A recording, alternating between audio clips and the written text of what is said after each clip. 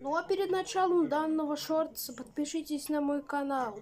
Приятного просмотра.